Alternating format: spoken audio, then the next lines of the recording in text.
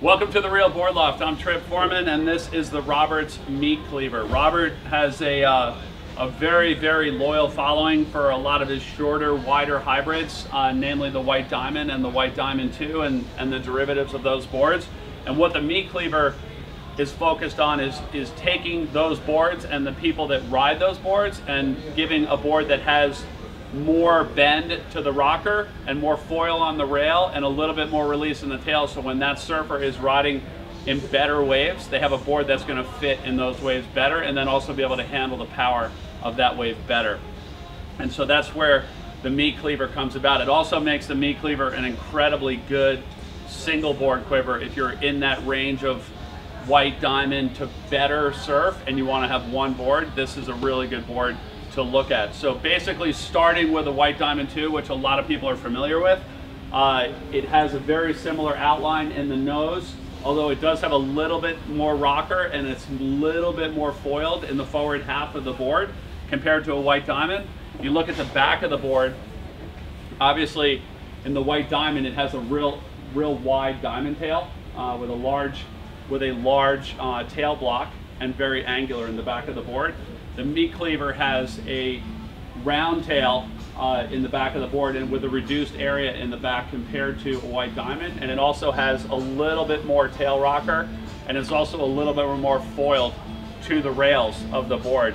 All of these things, whether it be the additional rocker in the, in the front of the board, the additional rocker out the back of the board, and the more foil in the rail throughout the board, all of these things are going to make the board easier to control and better surf and also easier to go through turns at a really high rate of speed. So if you're if you were to take a white diamond through in better surf and go as fast as you possibly can and then try and land to a turn with that wide, thick tail, it's not going to want to hold into the water. It's going to want to skip or bounce out. This board, just by just taking a little bit of area out, and this isn't, by no means is this a narrow, like, you know, round pin or pintail. It's just basically a round tail or a thumb tail.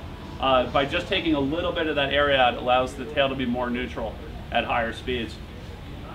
All of the, uh, not all, but the majority of the uh, of the meat cleavers that you're going to see are five fin convertibles because this board will definitely benefit uh, using it either thruster or quad. One, depending on your preferences, and two, if you're trying to widen the range of the board. If you're riding it in, in, at the bottom end in real mushy gutless surf, uh, going with a quad is going to help you generate more speed down the line. Also, if you're riding it at the at the very upper end of its range, uh, in something that you really should be on a much narrower board. Uh, putting the quad in will also give the board a little bit more hold in, in those steeper, larger waves. So tri-fin or quad, both are an option on this board. But the cleaver, you look at it, it's just, it's got really clean lines to it. It has a lot of the things that Robert does on all of his boards, like the, the rolled rails up forward, you know, so there's really no wear for this board by having just a little bit of extra nose kick and having that rolled rail up front, it's really going to save you on a lot of those, a lot of those late drops where something flatter in the front and something edgier in the front would grab and, and pitch you over the front. So it has those rolled rails up front, nice tucked under edge, the whole rest of the length of the board.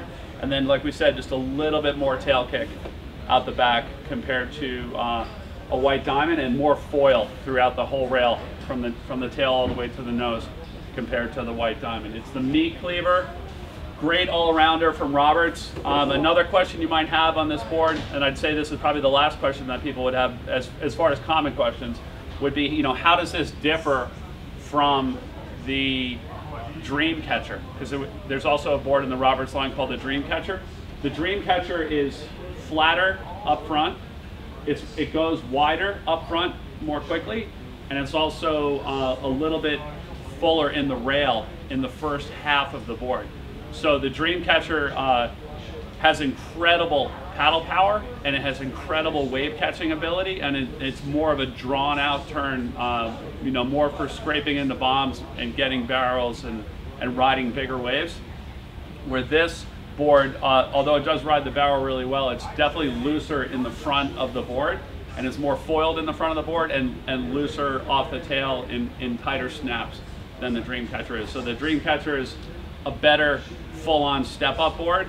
uh, where this board is going to be better, you know, mid-range, and you can ride it in actually in pretty small surf as well, pretty close to as small as the White Diamond, uh, and and still have it feel loose, like it's not too much uh, of a board or too tracky of a board. Uh, so that's the differences between this and the Roberts Dreamcatcher.